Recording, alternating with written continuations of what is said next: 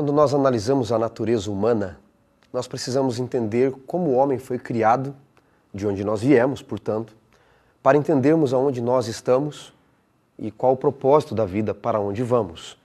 E a Bíblia nos diz, em Gênesis capítulo 2, verso 7, que Deus fez o homem à sua imagem e semelhança.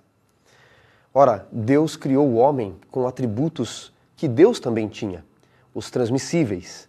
Deus tem atributos transmissíveis e atributos intransmissíveis. Quais são os atributos intransmissíveis? Eternidade, onisciência, onipotência. Mas Deus é amor, nós também somos amor. Deus é misericórdia, podemos ser misericórdia também. O problema é que o pecado atrapalhou o plano de Deus. Onde havia amor entrou ódio, onde havia altruísmo entrou egoísmo, e onde havia vida entrou morte, e assim por diante. Na lição de hoje, nós estamos estudando sobre o egoísmo.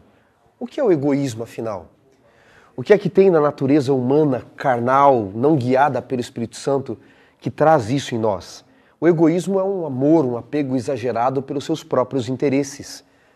A etimologia da palavra egoísmo, ego, no grego, se repete diversas vezes na Bíblia, egoimi, egoimi, eu sou o que sou. Ego é eu. E ismo você pode ver que está no final de várias religiões, cristianismo, islamismo, docetismo. É uma religião ao eu, é uma adoração ao eu, à sua própria vontade. Deus nos criou para vivermos por um propósito, para servirmos como Deus serve, para abençoarmos como Deus abençoa. O pecado, quando entra na natureza humana e desconfigura a natureza divina em nós, os atributos divinos transmissíveis a nós, faz com que o egoísmo surja. E ao invés de nos preocuparmos com o outro, como Jesus constantemente fazia, acabamos nos preocupando sempre conosco mesmo. No Evangelho de Lucas, no capítulo 12, a lição de hoje traz um texto interessante que eu quero ler com vocês. Lucas 12, a partir do verso 13. Um homem que estava no meio da multidão falou a Jesus: Mestre, ordena ao meu irmão que reparta a herança comigo. E Jesus então vai dizer a ele, não é? Homem, quem me constituiu juiz ou partidor entre vós? Jesus começa a mostrar para eles que ele estava preocupado mais com as coisas eternas do que com as coisas terrenas. Mas aí então, Jesus lhes propõe uma parábola, dizendo que um homem rico produziu muita coisa e abundância no seu campo.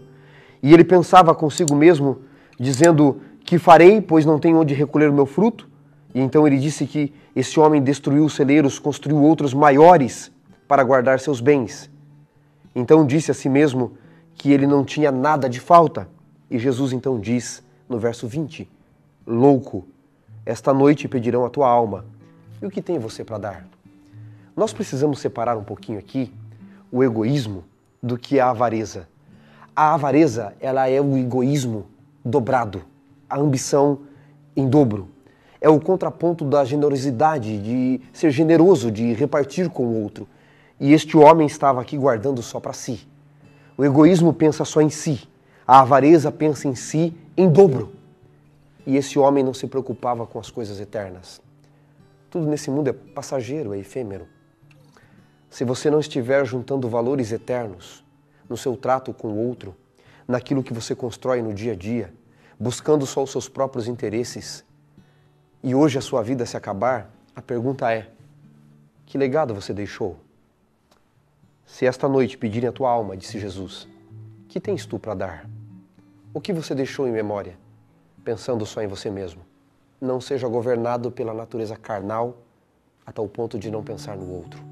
E não se esqueça: ninguém é tão rico que não precise de algo e nem tão pobre que não tenha algo a oferecer ao outro. Pense nisso. Que Deus te abençoe.